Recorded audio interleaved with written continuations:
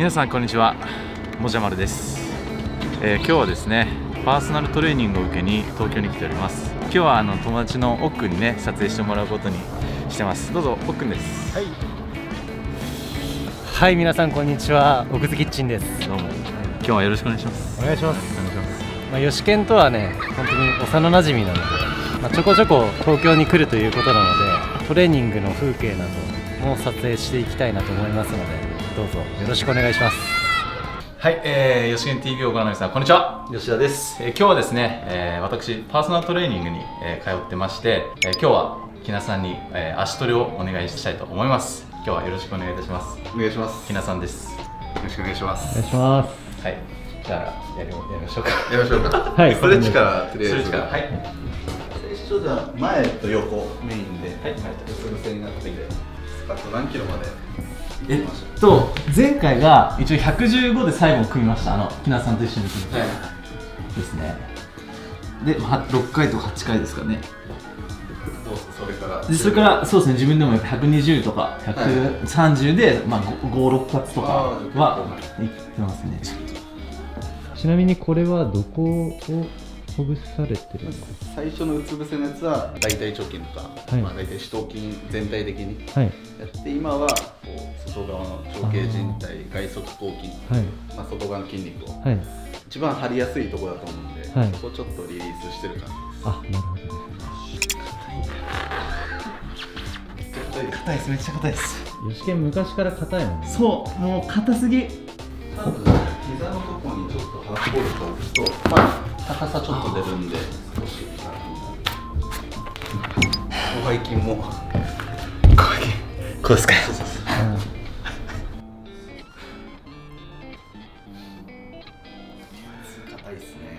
ね硬いっす。でで骨盤の方を後傾するイメージで。皆さんは結構前もねおっしゃってたけどこう足トレの前を入念にストレッチをされて。る足は、まあ、重量を持てるようになったっていうのもあるんでやんないと怖いですね。今はもう。これ吉健どこが伸びてるの？ここのね、うん。ももの大腿四頭筋かな？このももの前側しっかり、うん。でさらにこの辺に力入る感じでこう前を一番前傾する人とかは。やった方がいいです前後に開いて、まあ、肘つけるんだったらついて最初ちょっとバウンドから入って10回とかで前後にも10回でちょっとだけ距離取って膝を押して体を入れていく、で7回いきましょうか、でその後肘タッチして開いてで後ろにっていう動きでこれも7回、はい。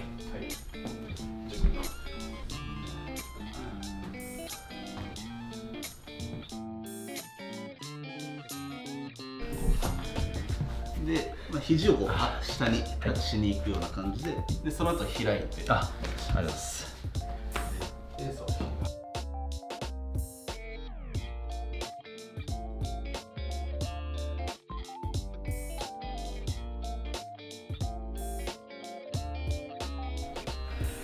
痛い。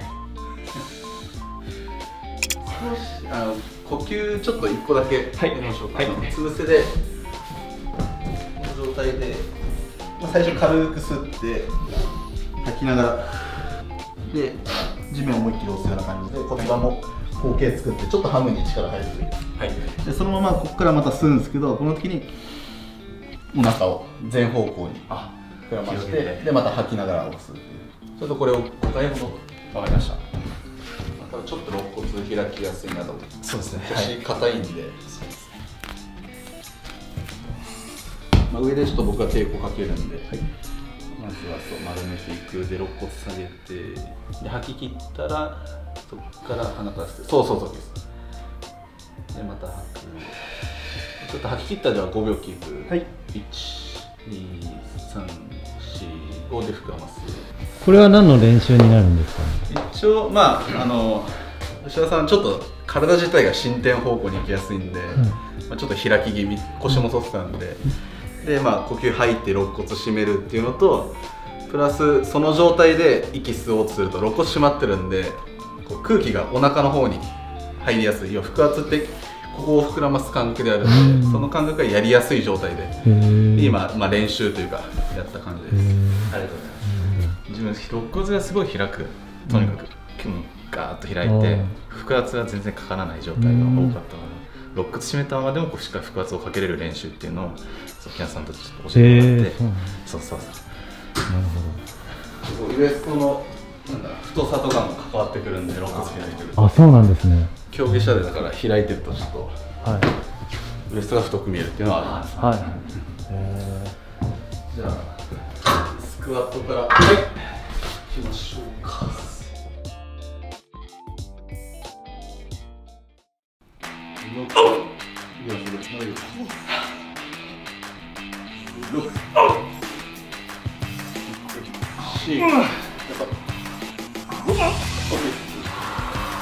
や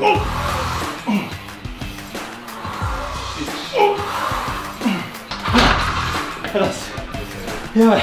俺この後食えんかもしれん。マジで